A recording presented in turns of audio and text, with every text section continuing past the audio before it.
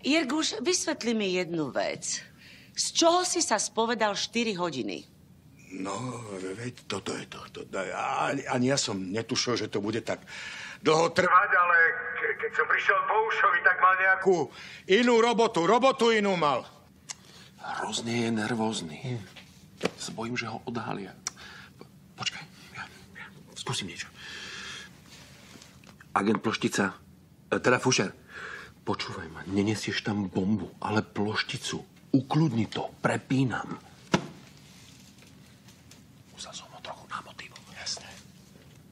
No a potom, keď som sa začal spovedať, tak som si vylial dušu. Ani som netušil, koľko sa toho vo mne nahromadilo. No. A vy, vy, ako sa tu máte? Prečo tak kričíš? Ja, ja, ja kričím. Ja, ja, keď som bol u Bouša, tak tam bol hrozný prievan. Zalahlo mi uchu, uchu mi. Zalahlo. No a ako sa tu máte? Oco, si v poriadku?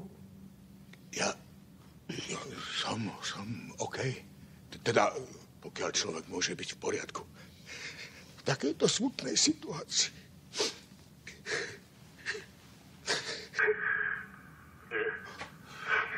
Sa chová ako blázon. Veď počúvaj, on nám zruší celú akciu. Veď to nemôže takto robiť, tak urob niečo. No.